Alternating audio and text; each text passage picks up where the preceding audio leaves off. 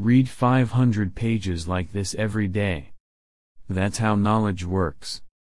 It builds up, like compound interest. All of you can do it, but I guarantee not many of you will do it.